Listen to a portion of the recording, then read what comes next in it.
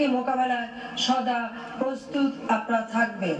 এর আগে প্রধানমন্ত্রী শেখ হাসিনা সিলেটে পৌঁছেই হজরত শাহজালাল রহমতুল্লাহ আলাহে ও হজরত শাহপারান রহমতুল্লাহ আলাহের মাজার জিয়ারত ও কোরআন পাঠ করেন।